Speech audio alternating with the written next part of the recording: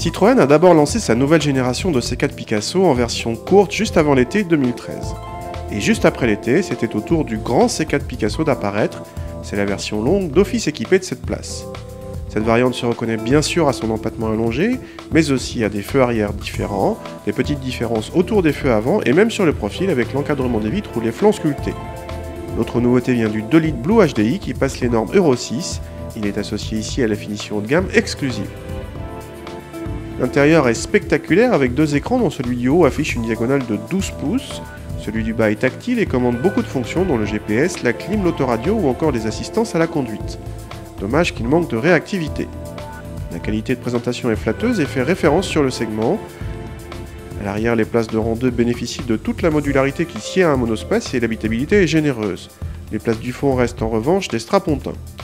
En configuration 5 places, le coffre généreux tourne autour des 600 décimètres cubes. Le nouveau C4 Picasso Courroulon est plus dynamique que son prédécesseur, mais moins que ses deux principaux concurrents que sont les 5008 ou Scénic, Courroulon également. En revanche, il reste toujours une référence en confort malgré quelques mouvements de caisse indésirables. Le grand C4 Picasso est logiquement un peu moins alerte que la version courte.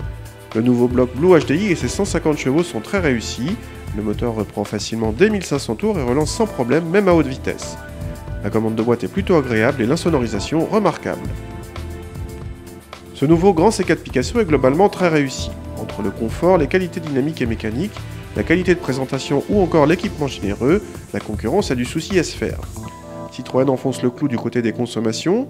Ce gros bébé n'émet officiellement que 110 grammes par kilomètre de CO2. C'est le record de la catégorie à ce niveau de puissance et nos mesures confirment une nette avance de Citroën en la matière. Toutes ces qualités ont un prix, plus de 34 000 euros. C'est cher pour la catégorie, mais vous pouvez opter pour une finition un peu moins huppée.